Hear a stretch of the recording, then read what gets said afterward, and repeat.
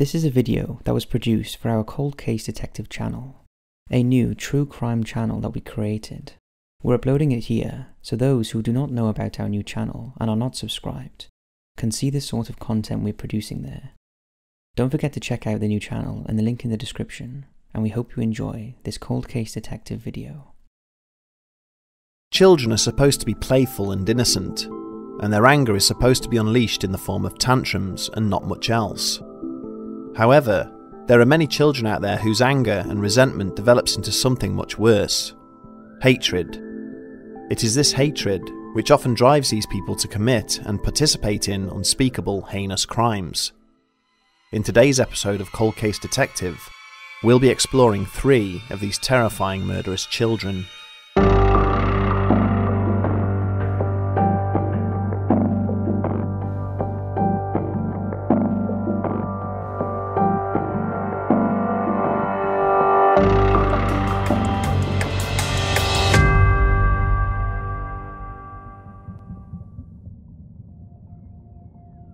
Price. Dubbed by the media as the Warwick Slasher, Craig Chandler Price was just 13 years old when he killed his first victim. Born October the 11th, 1973 in Rhode Island, there is little known about Craig's family life and upbringing. What is known is that from a young age he had a juvenile record that included charges of robbery, stalking, assault, and drug use. Despite his questionable criminal record, nobody expected the young boy to take a life. On July the 27th, 1987, Craig broke into the home of 27 year old Rebecca Spencer, a woman who lived just two doors down from him. He stabbed her 58 times with a kitchen knife. Then, on September the 1st, 1989, when Craig was 15, he broke into the home of 39 year old Joan Heaton, who resided there with her two daughters, intending to rob the residence. High on weed and LSD at the time, he stabbed Joan 57 times. He then stabbed her 10 year old daughter Jennifer 62 times, and her 8 year old Melissa 30 times. Melissa also suffered a crushed skull due to Craig pulverising her with a kitchen stool. He even bit Joan and one of the girls. Craig's attack on the family was so aggressive that the blades of the knives he used broke off from the handles, staying inside the bodies of the victims. Despite the fact that Craig lived near to both crime scenes, along with having a juvenile record, police did not consider him a suspect until the FBI linked both crimes together, stating that they were likely committed by someone living nearby and had his hand injured in the struggle. On September the 5th, 1989, when two police officers interviewed the 15 year old, they noticed the cut on his hand. Craig told authorities that he'd cut it while drunk. He then went on to fail a polygraph test. This combination of suspect things led to police gaining a search warrant for his home, where they found bloody clothes and knives. Upon being discovered, it said that Craig's demeanour and tone were both calm. He confessed without further pressing, and law enforcement described his admittance as lacking in remorse. Even worse is that he went on to mimic the sounds of his victims dying as he confessed to the crimes. Craig believes that his exposure to racism as a young child is a contributing factor in the motive for the murders. He was arrested one month before his 16th birthday and bragged he'd make history when released, as he'd been tried and convicted as a juvenile and would be released at age 21. The case of Craig Price later led to law changes, which allowed juveniles to be charged as adults, but this couldn't be applied retroactively. Rhode Island residents formed citizens opposed to the release of Craig Price to lobby for his imprisonment, given the brutal nature of the crime. Several state psychologists agreed that Craig was a poor candidate for rehab.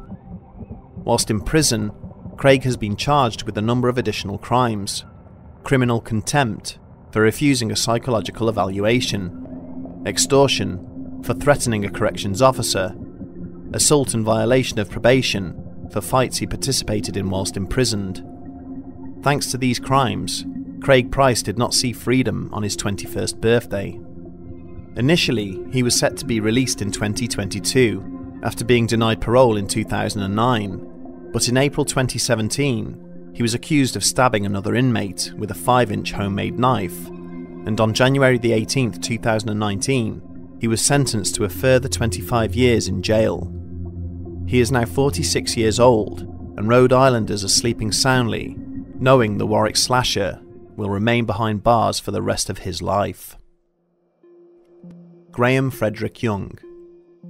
Born in Middlesex, England in September of 1947, Graham Frederick Young was fascinated by poisons from a young age.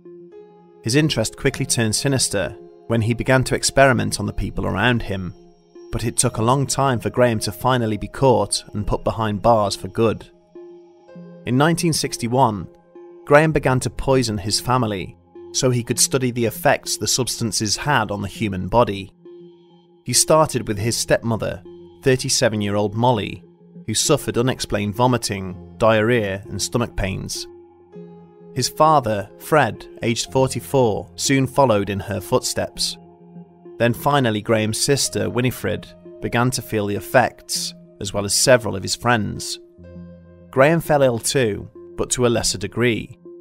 It's not known if this was intentional or an accident.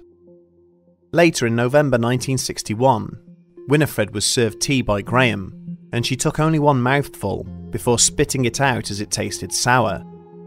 On her morning commute, she found herself hallucinating and was sent to the hospital, where it was discovered that she had been exposed to Atropa belladonna, also known as deadly nightshade, a plant which is extremely toxic when ingested. When Fred confronted his son about this, Graham retaliated by blaming his sister for mixing her shampoos in the teacups. Fred found nothing incriminating in his son's bedroom, but told him to be more careful. It was only six months later, on April the 21st, 1962, that Molly Young died from poisoning, and Fred was taken to the hospital, where he was told that just one more dose of poison would have killed him. On the back of this turn of events, Graham's aunt became suspicious of him, as did his science teacher, who found bottles of poisons in his desk and reported it to the school principal.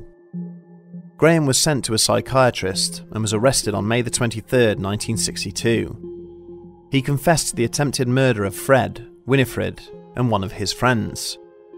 Molly's death was not considered suspicious, given that she'd sustained a prolapse of her spinal bone in a traffic accident, and there was no way for investigators to check her cause of death, as she'd been cremated at Graham's suggestion.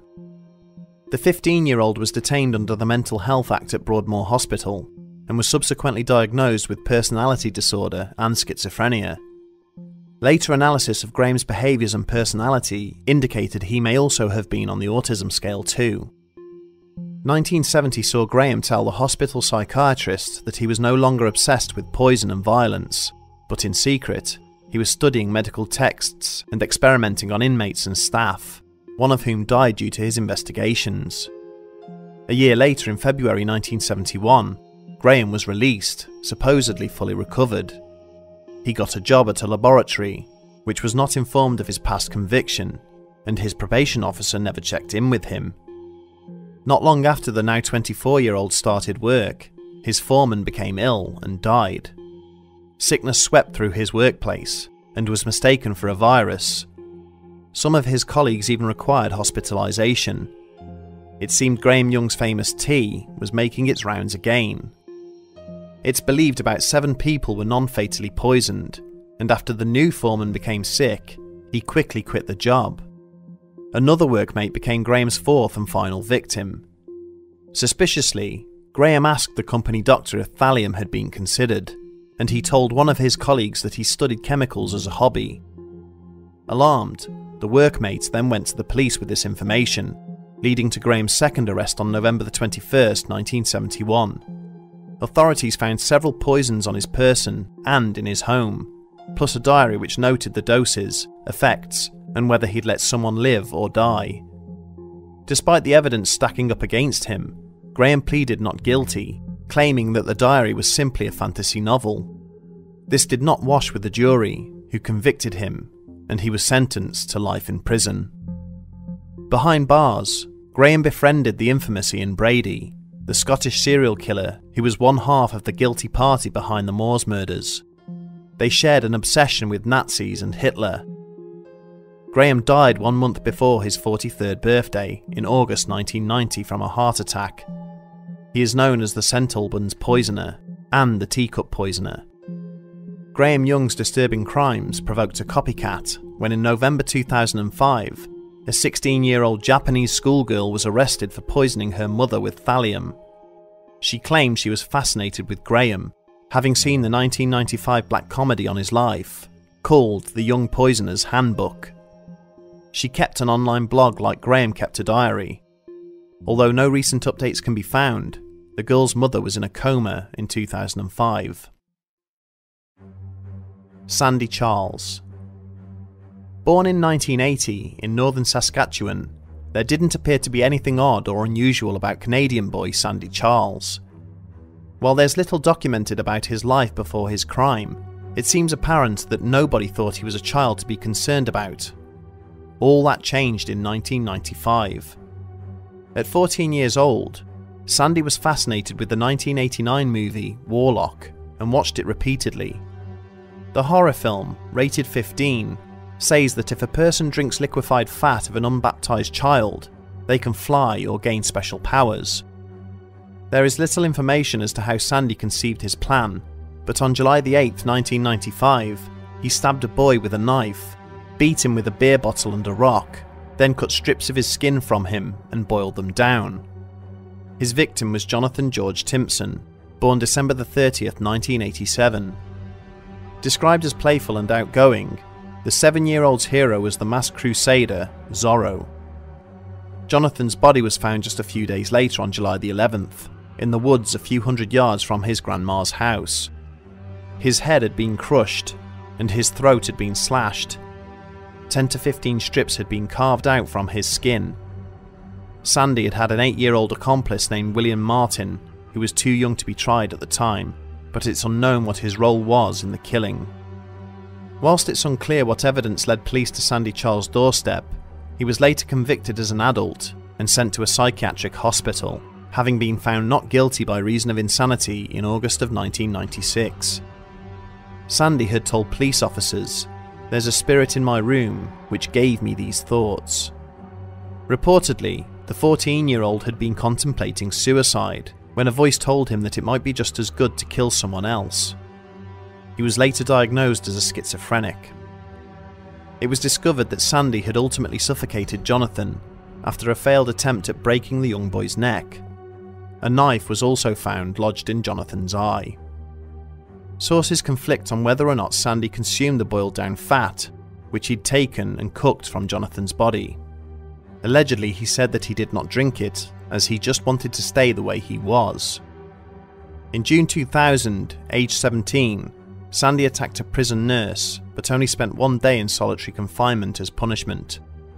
In 2014, he told a court that he wanted to be socialised enough to re enter society, but his request to move to a different institute was denied. It's unlikely that Sandy Charles will be released from the psychiatric hospital in which he resides. So that's three cases of terrifying, murderous children. Thanks for watching, and we'll see you in the next one.